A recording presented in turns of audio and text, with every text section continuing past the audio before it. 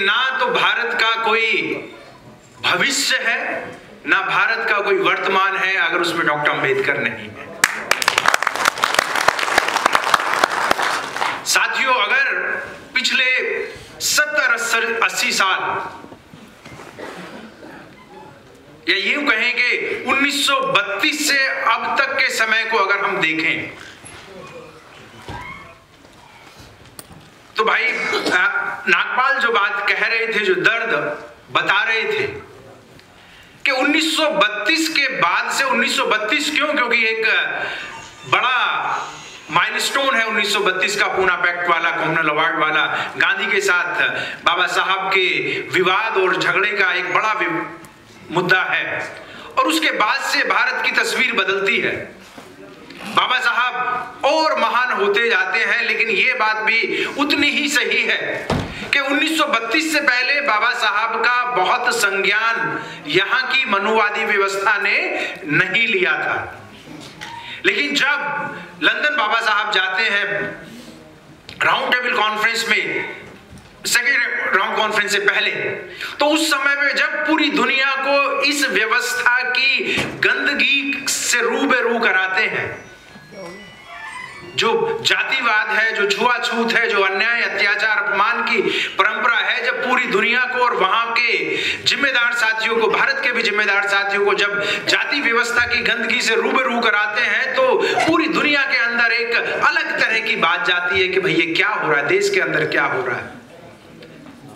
उस समय पे, वो शायद 12 नवंबर 30 नवंबर 1931 की बात है। जब 29 अगस्त उन्नीस भाई सुन लीजिए आप। जब बाबा साहब अपनी बात वहाँ पे रखते हैं उस समय पे उस सभा के अंदर सयाजी राव गायकवाड़ भी थे। सयाजी राव गायकवाड़ वो व्यक्ति थे जो बाबा साहब को कोलंबिया भेजते हैं। उनकी महारानी भी उनके साथ थी। शाम को सयाजीराव गायकवाड़ जब अपने महल में पहुँचते हैं तो अपने गेस्ट हाउस में पहुँचते हैं तो उस समय पे मैडम से कहते हैं कि मैंने डॉक्टर अंबेडकर को कोलंबिया यूनिवर्सिटी भेजा था।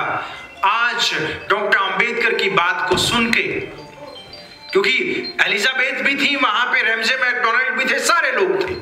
पूरी दुनिया का मीडिया भी वहाँ पे था।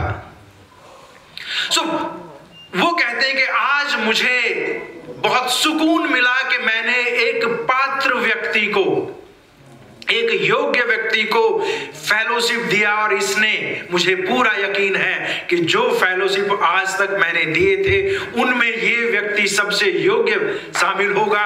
इन्होंने अपनी उस पात्रता को सिद्ध घोषित कर दिया। तो उसके बाद से आप पूरे झगड़े को जानते हैं, क्या हुआ, अगली कॉन्फ्रेंस में और गांधी के साथ झगड़ा हुआ और फिर कॉमनल अवार्ड घोषित कॉमनल अवार्ड घोषित होने से पहले जब बाबा साहब लंदन से वापस आते हैं तो बाबा साहब को विभिन्न स्थानों पर जातिवादी मानसिकता के लोग, खास तौर पे कांग्रेस के लोग बाबा साहब को काले झंडे दिखाते हैं। उन पूरे देश के अंदर मीडिया ने बाबा साहब को बहुत दुष्प्रचारित किया, उनकी बहुत ज़्यादा चरित्र हत्या करने का प्रयास किया और उसके बाद से माहौल बन नहीं पाया कभी। बीच में आके थोड़ा सा जब संविधान लिखा जा रहा था, उस समय पे ज़रूर थोड़ा सा एक मनमुटाव कम सा नज़र आता है, लेकिन एक साथी शायद सत्यन जी इस बात को बोल रहे थे। मैं याद दिला दूँ कि 1946 में, क्योंकि अंग्रेज़ों को अफरा तफरी थी। अंग्रेज़ भाग रहे थे, देश से भाग रहे थे। 1943 में अंग्रेज़ों ने बाबा साहब से ये वादा किया था कि वो 20 साल के अंदर यहाँ की जो अछूतों की समस्या है, उसका परमानेंट सेटलमेंट करेंगे। उसका कुछ ना कुछ इस तरह का सेटलमेंट करेंगे कि समस्या समाप्त हो जाए। लेकिन सेकेंड वर्ल्ड वार होते होते उसके खत्म होते होते अंग्रेज़ों को यहाँ से भागने की जल्दी थी, इसलिए बाबा साहब का वो लगभग साथ छोड़ रहे थे। 1940 का समय महत्वपूर्ण है, कुछ साथी ज़रूर जानते होंगे कि उस समय पे बाबा साहब बहुत निराश और हताश हो गए थे। क्यों? क्योंकि कुछ समझ में नहीं आ रहा था कि नया संविधान बनने वाला है, उस संविधान में हमारा क्या स्थान होने वाला है, क्या हज़ारों साल से जो हमारे ऊपर अन्याय, अत्याचार करने वाले लोग हैं, उनको दोबारा से इस देश का शासक बना दिया जाएगा। हमारी क्या स्थिति होने वाली है? तो let me remind you in that crisis Baba Saheb made in statement कि अंग्रेज़ ये ना सोचे कि हम उनकी दया पे निर्भर हैं। अंग्रेज़ ये ना सोचे कि हम उनकी दया पे निर्भर हैं। हम उनको बता दें कि हम बहुत अच्छे से बम का इस्तेमाल कर सकते हैं। यूज़ दैट वर्ड अच्छे से इस्तेमाल कर सकते हैं। उस समय पे दिल्ली के अंदर, कानपुर के अंदर, पुणे के अंदर, नागपुर के अंदर, बॉम्बे के अंदर ज़बरदस्त आंदोलन हुए। शायद कम जानकारी हो लोगों को, कम से कम 16-17 लोग हमारे उस समय पे मारे गए संविधान सभा में अपना स्थान सुनिश्चित करने के लिए। कि हमारा स्थान क्या होगा? पूरे देश के अंदर बाबा साहब ने आंदोलन चलाया। अंग्रेज़ों के खिलाफ भी पूरा आंदोलन उन्होंने चलाया कि नहीं? उसी समय पे जो एक इनफेमस स्टेटमेंट पटेल के बारे में कहा जाता है कि मैंने दरवाजे बंद कर दिए, मैंने खिड़कियाँ बंद कर दी। ये लगभग उसी समय की बात है। कांग्रेस तो नहीं चाहती थी किसी तरीके से। लेकिन बाबा साहब, क्योंकि एक बहुत ही मल्टी डायमेंशनल पर्सनैलिटी थे। वो यहाँ पे आंदोलन कर रहे थे और योग्य तो थे ही। उसी समय पे बाबा साहब लंदन जाते हैं। 1946 में लंदन जाते हैं लंदन जाके रैमजे मैकडोनाल्ड से मिलते लॉर्ड एटली से मिलते हैं। लॉर्ड एटली उस समय पे प्रधानमंत्री थे। आ, चर्चिल से मिलते हैं, एलिजाबेथ से मिलते हैं, और बहुत सारे दूसरे लोगों से मिलते हैं। और उनको ये बात बताते हैं कि भाई, जिस तरीके से आप भाग रहे हैं, वहाँ पे आज भारत के अंदर सात आठ करोड़ जो खास तौर पे अनटचेबल्स एंड टाइबल्स हैं, उनका भविष्य क्या होगा? उस समय पे ये सारे के सारे लोग उनको एंश्योर कराते हैं कि आप चिंता ना करें, हम इतनी आसानी से अनटचेबल्स और आप जिन कंसर्न्स को लेके बात कर रहे हैं, उनको अनअटेंडेड नहीं छोड़ेंगे। They will be substantial position for you ये मैं कोई हवा में बात नहीं कर रहा हूँ। ये तो हम जानते हैं कि 46 में बाबा साहब चुन के किस परिस्थिति में बंगाल से आए थे, जैसोर खुलना से आए थे और किस तरीके से शरारतपूर्ण तरीके से उन जगह को पाकिस्तान के अंदर दे दिया गया था, जबकि वहाँ पे कम से कम बयालीस, बावन परसेंट लोग शेड्यूल कास्ट थे। सिर्फ़ schedule caste fifty two percent लोग। लेकिन बाबा साहब की सीट वहाँ पे चली गई। इसलिए क्योंकि एक दबाव भी था सिस्टम का भी दबाव था, अभी ऐसा नहीं कि पूरी तरीके से आज़ाद हो रहे थे सारे के सारे। इसलिए उस सिस्टम के दबाव को, और मैं कहूँगा कि बहुत तक अंग्रेज़ों के दबाव की वजह से जयकर और दूसरे साथी, जिन्होंने भी अपनी जगह छोड़ी, हम उनका शुक्रगुजार हैं। लेकिन ये कोई इतना आसान चीज़ नहीं थी कि उन्होंने बहुत खुश होकर दे दिया हो। वो बाबा साहब की विद्वता उनका संघर्ष, उनका बलिदान और परिस्थितियों की वजह से था कि चीज़ें वहाँ तक पहुँची। वो एक समय था जिसमें हम कह सकते हैं कि थोड़ा सा सिस्टम ठीक चल रहा था, लेकिन वो ज़्यादा दिन नहीं चला। आप जानते कि उन्नीस सौ इक्यावन तक आते आते ही भारत में पहले बाबा साहब ऐसे व्यक्ति होते हैं जो विचार के आधार पर जो एक विचार के आधार पर, जो एक अपनी विचारधारा को मजबूती से लागू करने के आधार पर भारत के मंत्री पद से कानून मंत्री के पद से त्याग पत्र देते हैं हिंदू कोर्ट बिल के बारे में आप जानते हैं सारा का सारा। और वो किस तरह का कोहराम पूरे देश के अंदर मचा था?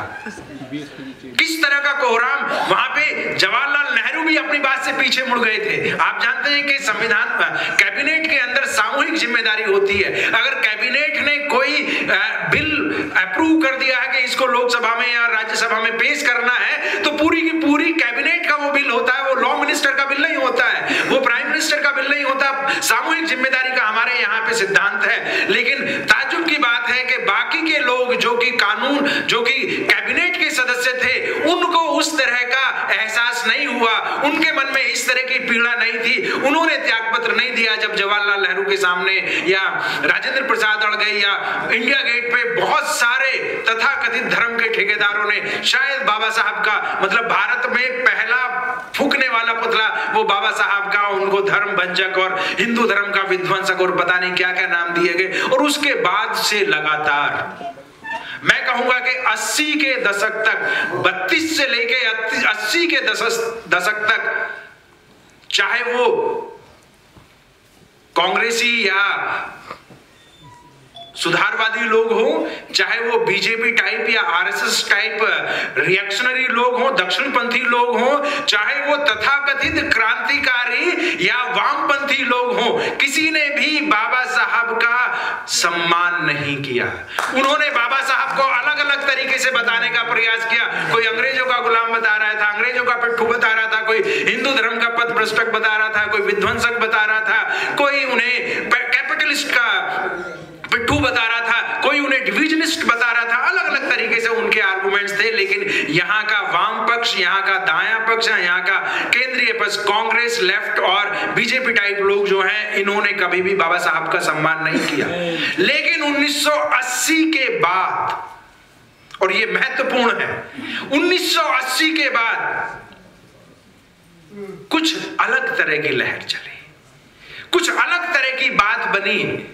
और नब्बे तक आते आते जो लोग कभी बाबा साहब के विरोध में उनके अलग अलग तरह से उनके खिलाफ दुष्प्रचार करते थे, उन्हें जातिवादी बताते थे, उन्हें पूंजीवादी बताते थे, उन्हें विभेदकारी बताते थे। वो सारे लोग अब बाबा साहब के बारे में कुछ अलग अलग तरह की बात कर रहे हैं और यहाँ तक स्थिति आ गई। कि नब्बे तक आते आते उनको भारत रत्न का से नवाज़ दिया जाता है। पूरे देश के अंदर, पूनम जी बता रही थी कि भाई अब तो पूरा देश उनको ग्रेटेस्ट इंडियन कह रहा है। आज कोई ऐसा राइट लेफ़्ट सेंटर नहीं है। देश के अंदर ऐसा कोई गाँव नहीं है, देश के अंदर ऐसा कोई शहर नहीं है, देश के अंदर ऐसा कोई ऑडिटोरियम नहीं है, जहाँ पे बाबा साहब को स्वीकार ना किया जा रहा हो उनकी जयंती को उनके विचारों को स्वीकार ना किया जा रहा हो इंपॉर्टेंट बात यह है कि ये नब्बे के दशक में, अस्सी के दशक में हुआ क्या? क्यों लोग उनको स्वीकार करने लगे? मैं ये कहूँगा कि जो हमारा दूसरा हिस्सा है संविधान, उस संविधान ने कमाल किया। उस संविधान ने, मैं कहूँगा, चमत्कार किया। उस संविधान ने ऐसी व्यवस्था बनाई जो व्यक्ति जिनको बहुत सारी चीज़ें हैं, जिनको हम बता सकते हैं नकारात्मक तरीके से, लेकिन कुल मिला के ये है कि संविधान के द्वारा लोगों के अंदर वो ताकत आई। उन्होंने शिक्षा प्राप्त की, उन्होंने नौकरियाँ प्राप्त की, उन्होंने पोजीशंस प्राप्त की, और उनमें से ही कुछ लोगों के अंदर, सिर्फ़ चंद लोगों के अंदर बाबा साहब का जो अपमान था, वो सिर्फ़ बाबा साहब का अपमान नहीं था।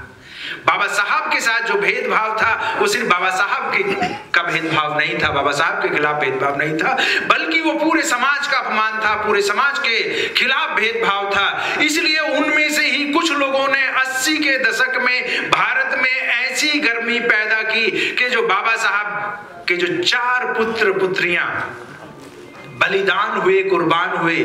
ज्योतिबा फूले की जो उन्होंने कहा कि नहीं, मुझे परिवार ही आगे नहीं बढ़ाना है, अपने बच्चे ही पैदा नहीं करने हैं, अपना सब कुछ समाज को निछावर कर देना है। सो ज्योतिबा फुले, बाबा साहब ने जो अपने आप को और ऐसे ही अनेकों लोगों ने जो अपने आप को इस आंदोलन में खपाया, इस आंदोलन में कुर्बान किया, अपना सर्वस्व कुर्बान कर दिया, उस आंदोलन की वजह से संविधान ने लोगों को पढ़ने का अधिकार दिया।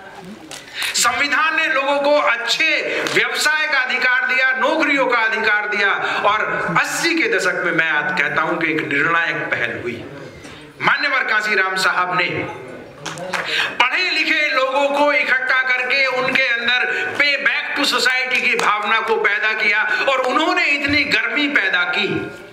उन्होंने इतनी गर्मी पैदा की कि वो मनुवादी लोग, वो जातिवादी लोग, वो ब्राह्मणवादी लोग जो बाबा साहब का नाम लेने से भी डरते थे, बाबा साहब के नाम से भी जिन्हें गंध आती थी, अब बाबा साहब के नाम का तिलक अपने माथे पे लगा के अपने आप को गौरवान्वित महसूस करने लगे। इसको कहते हैं लायकी इसको कहते हैं लायकी के किस तरीके से?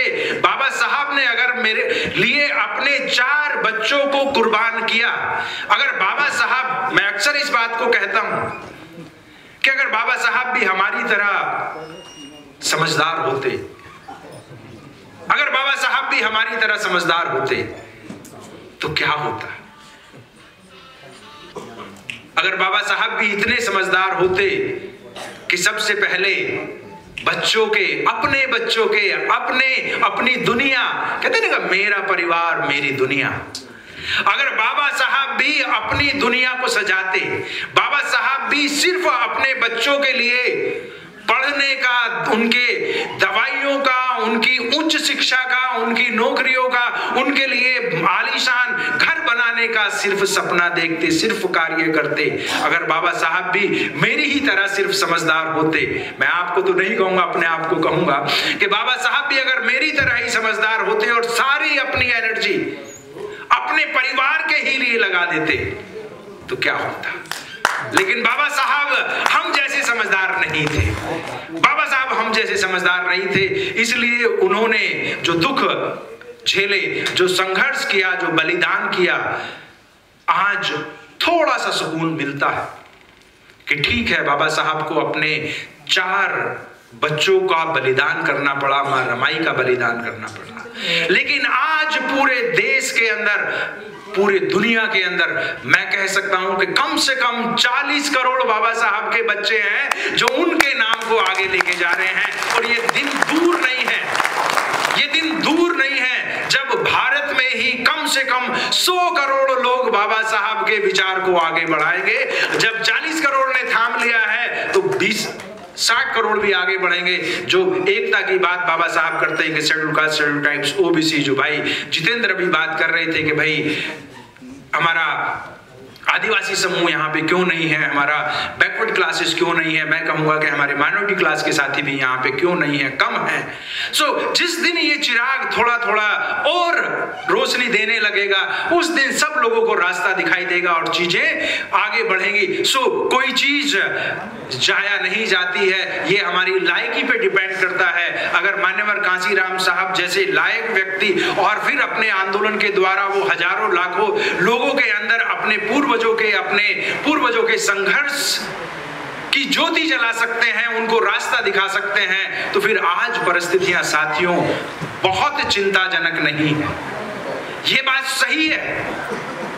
ये बात सही है कि पूरे देश के अंदर इस समय पे हताशा और निराशा का दौर या हताशा और निराशा का प्रचार है। लेकिन क्या आपका मन इस बात को मानता है? क्या आपका मन इस बात को यकीन करता है कि नहीं, हम सबसे खराब दौर में हैं? साथियों थोड़ा सा रणनीतिक होना पड़ेगा। हम जब ज़िक्र करते हैं तो हमें, हम ये बता के कई बार बहुत अपने आप को अजीब सा सुख लेते हैं इस बात में। कि कभी ऐसा दौर था कि आपके पीछे झाड़ू बांधा गया था और आगे मटकी लगाई गई थी। बहुत से बुज़ुर्ग साथी भी बैठे हैं, बहुत उम्र दराज मुझे लगता है अस्सी नब्बे उम्र के साथी भी यहाँ पे बैठे हुए हैं। क्या कोई व्यक्ति बता सकता है किसी गाँव में किसी के बाप दादा के पीछे झाड़ू बांधा गया हो और आगे मटकी लगाई गई हो? क्या कोई बता सकता? है मेरा सवाल है। शायद नहीं। किसी को पता नहीं है। किसी को पता नहीं है। ये जवाब दिया जाता है किसी व्यक्ति ने लिखा पेशवाओं के बारे में जब उनका शासन था महाराष्ट्र के अंदर। किसी ने कहा कि साथियों, समस्याओं पे अगर आप ध्यान देते हैं, समस्याओं को पकड़ते हैं तो समस्याएँ आती हैं। समाधानों को पकड़ते हैं तो समाधान आते हैं। सकारात्मक दृष्टिकोण रखते हैं तो रास्ते निकलते हैं। अगर 1818 ये वही समय है जब आप ये झाड़ू वाली कहानी सुनाते हैं जिसकी कोई सच्चाई नहीं है पूरे देश के अंदर। कोई बता दे अगर इस बात की सच को। अरे कहीं नहीं थी को आप उदाहरण बताइए रेफरेंस बताइए। मैं ज़िम्मेदारी के साथ कह रहा हूँ इस बात को कि कहीं पे भी इसका उदाहरण नहीं मिलता है। अगर उदाहरण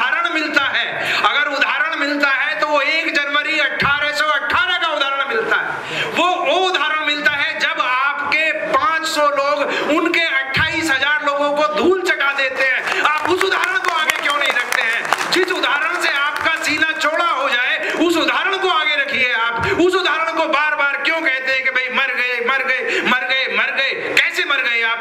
आप आज कैसे मरे हुए हैं? आप जितना खूबसूरत कपड़े आज पहने हुए हैं जितने खूबसूरत हॉल में आप पास है। जितना अच्छा खाना आप खा रहे हैं, जितने आलीशान गाड़ियों में आप चल रहे हैं, इतिहास में कभी ऐसा हुआ है? नहीं हुआ। आप सर्वोत्तम स्थिति में हैं, लेकिन क्या है? बस यकीन ही नहीं होता राहुल रागपाल जी जिस बात को कह रहे थे। हमें अपनी क्षमता पे, हमें अपनी ताकत पे, हमें अपने हौसले पे यकीन ही नहीं है। अरे, उसके अंदर क्या ताकत है? उसके अंदर क्या ताकत है? वो तो अपने तथाकथित ग्रंथों में लिख के गया है। जिस दिन मैं उसके सामने खड़ा हो जाता हूँ, उसकी आधी ताकत मेरे अंदर आ जाती है। उसने लिखा है ये, जिस दिन मैं अपने आप को उसके सामने बोल देता हूँ कि हाँ मैं ये हूँ, कांपने लगता है वो वो कांपने लगता है। किसी ने खूब कहा है कि कितने आए, कितने चले गए, कितने आए, कितने चले गए, कितने कुर्सी पे चढ़े होंगे। आप खड़े तो होइए खड़े तो होइए, सबको उतरना होगा। जो कुर्सी पे चढ़ा है, सब उतर जाएगा। आप खड़े तो हो जाए। आप खड़े हो सकते हैं। आपने दिखाया है जो सत्तर से बाबा साहब के खिलाफ जो दुष्प्रचार था, उस दुष्प्रचार को आपने ध्वस्त किया या नहीं किया? पूरी तरीके से किया, अपनी लाइकी से किया। ये तो सिर्फ़ एक या दो या तीन परसेंट लोग हैं जो इस समय पे इस आंदोलन को आगे बढ़ाने की बात कर रहे हैं। उसके लिए अपना समय दे रहे हैं, उसके लिए अपनी ऊर्जा दे रहे हैं, उसके लिए अपने संसाधनों को शेयर कर रहे हैं समाज